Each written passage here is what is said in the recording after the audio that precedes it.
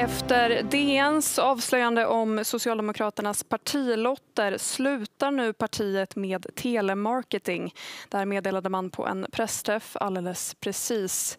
På plats där är My Råväder, inrikespolitisk kommentator. My, vad får det här för betydelse för partiets eh, lotteriverksamhet? Det är ju oklart än vad som kommer att ske i det långa loppet för den stora kritiska punkten här är ju egentligen om regeringen kommer att gå vidare med det här förslaget att förbjuda partilotter. Och det är ju det som Socialdemokraterna kämpar emot nu. Det är därför vi ser den här krishanteringen. Det här är alltså en presskonferens klockan 17.30 en fredag.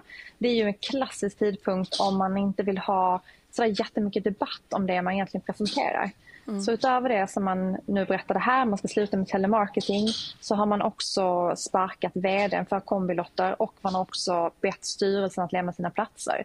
Så man vill ju föra över eh, kritiken då från, från partiet till det här till kombilotter istället. Mm. Eh, vi får väl se om det, är en, eh, om det funkar, i, eh, kanske i förtroendet från väljarna men jag vet inte om det kommer att skjuta ner den här kritiken och den här viljan att, att stänga ner lotteriverksamheten från regeringens håll.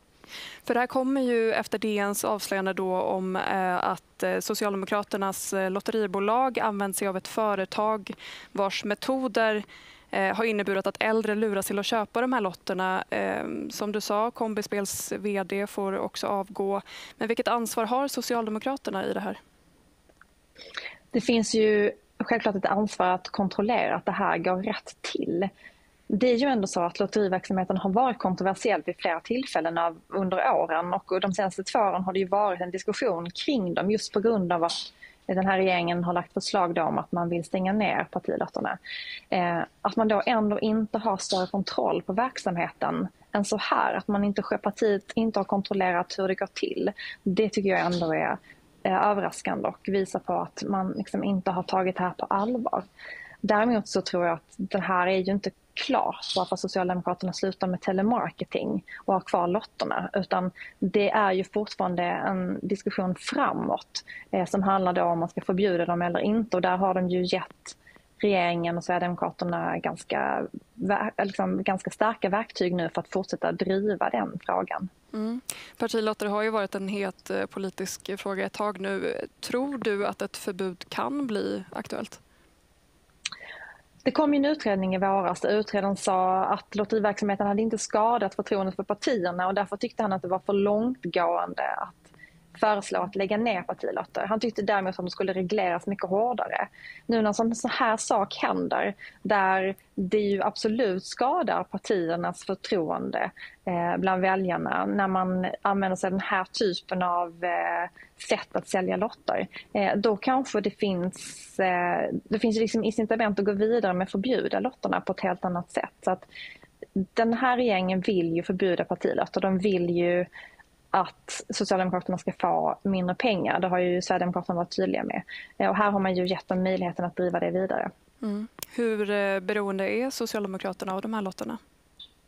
Ju mycket pengar man får. Bara Socialdemokratiska partiet får ju 9 miljoner kronor om året från de här lotterna. Eh, så det är ju klart att det är ju inte avgörande för partiets överlevnad men det kommer ju betyda för hur mycket anställda man har och hur mycket verksamheter man kan satsa på val, i valrörelser och sådär. Så att det är ju inte avgörande men det kommer ju märkas om man, om de, man inte kan sälja lotter. Mm. Och den här lotteriskandalen och, och, hanteringen av den, hur tror du att det har påverkat eh, förtroendet för Socialdemokraterna? Ja, men det är självklart att det här påverkar förtroendet. Det ingen kommer att eh, liksom, eh, ingen kommer ju att eh, försvara någon som lurar äldre att köpa lotter som de egentligen inte vill ha det är ju en, liksom en situation som är omöjlig att försvara. Det gjorde ju inte Badin här heller. Utan han sa ju att det här är fel, alla tycker det är jättedåligt, alla tycker det är jättefel. Liksom, huvuden måste rulla. Nu blev det bara styrelsen och vd för det här kombilotteriföretaget. Men det är ju självklart att man måste börja ifrågasätta även inom socialdemokratiska partiet vad det får för konsekvenser att en sån här sak har hänt och man har brustit så här i tillsynen av sin verksamhet. Stort tack för det, My Råväder där alltså. Och eh, mer om det här och mycket annat det hittar ni på aftonbladet.se. Stort tack.